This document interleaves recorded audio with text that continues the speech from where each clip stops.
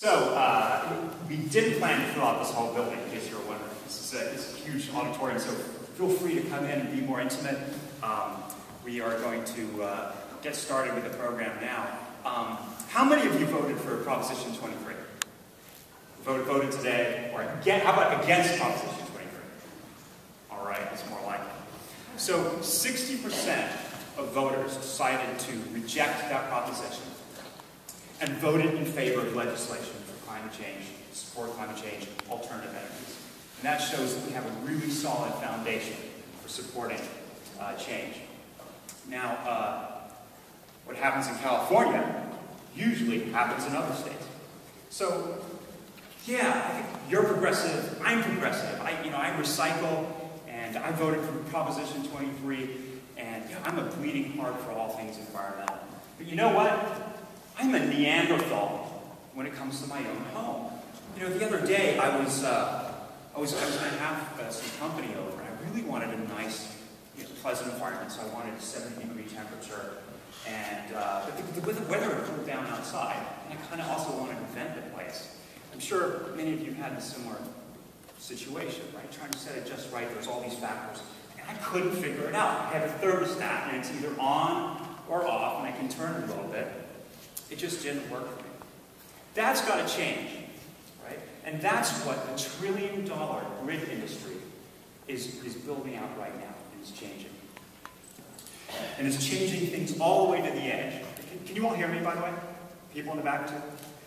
Great. So you can hear me. Cool. Um, and uh, there is no other agenda that I see as important as that, that need to change.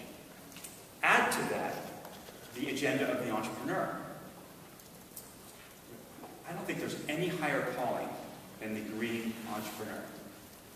You're creating jobs, but you're also, also pushing forward technology, disruptive technology.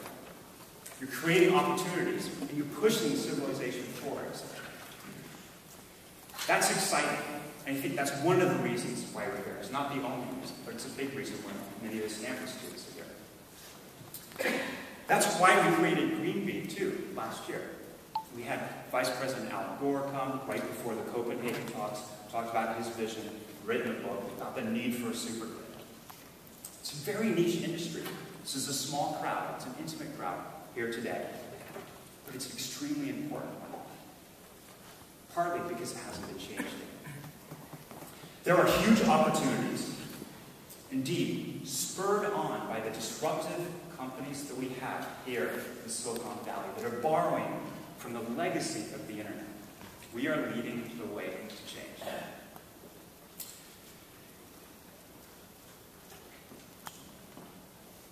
Now, sure, if you look at some of the companies here, they are building out the wireless network. So Silver Spring, um, companies like GridNet, these are companies that are, that are building out wireless IP-based infrastructure to build more important uh, applications on top, laying the, the, the, the, groundwork to create these uh, sophisticated applications on top that allow things to change on the grid. Electric vehicles is one of them. Meters is another. Integrating renewable energy is another. Uh, PG&E, one of the most advanced utilities in the world, is, is rolling out smart meters faster than just about anyone else. They're right here managing our backyard. eMeter, another company, building software for that. These companies are building out what also was built out over the last 20 years by, say, the PC or the internet. I mean, so, so what we have now is the grid um, operating system being built out. Software is being built out. The hard uh, mainframes, hardware, is, is, is being built. The routers, the switches, all that is being built out real time. Um, so there is a huge amount of opportunity. Now, yeah, sure, we had a problem with the, the federal legislation. It didn't come through uh, as aggressively as we, we may have wanted. Uh, investments in clean tech, unfortunately, was down over last year. But there's still billion dollar opportunities in this industry. We're talking about them on our website, VentureBeat. Uh, we're talking, we've been talking about them over the last couple of months with stories some of you may have been reading. There are billion dollar opportunities uh, with collecting and processing of data, responding to weather change, that creates a more vibrant, almost lifelike, responsive grid. So there are billion dollar opportunities. We're going to be talking about those more over the next couple of days. If you talk to uh, some of the people who will be on stage, the experts, uh, and, and here in the midst of you, they will tell you that this is just the beginning. Another thing that I'm excited about is that we are co-hosting this with SSE Labs. You know, SSE Labs is a uh, startup lab for student entrepreneurs and companies. And uh, we need smart leaders like you, the SSE Labs in Stanford, students and faculty, to keep us on the bleeding edge. What better place is there than here, right in the heart of Silicon Valley, to do that? So I would like to call out uh, Dan Ha, who is the managing director of SSE Labs, to say a few words about what that program's doing. Dan.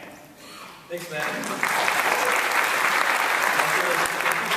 you for uh, all of the hard work you've, you've put in uh, in collaborating with us to put on this event. Uh, so a bit of background on SSE Labs. We're part of SSE, which is Stanford Student Enterprises. It's the legal and financial arm of the entire student body on campus. Uh, we aim, as a program, to help the top Stanford entrepreneurs uh, develop their companies by providing them resources like office space, mentorship, a community of like-minded entrepreneurs, and anything else that they might need uh, in order to succeed. One of the reasons why we're really excited to be co-hosting Greenbeat this year is because we're passionate about supporting the ventures um, and uh, student entrepreneurs for the potential opportunities within clean tech. Um, along those lines, we're looking forward to the roundtable discussion tomorrow, where we'll be connecting the brightest minds on campus interested in clean tech with leading industry, uh, industry experts. Um, if you guys are interested in learning more about the program, uh, feel free to grab any one of us who has an SSE Labs badge, and we'd love to talk to you. Um, thanks again, Matt. Hey, thanks, Dan, see more of you guys in the program. Definitely. tomorrow morning.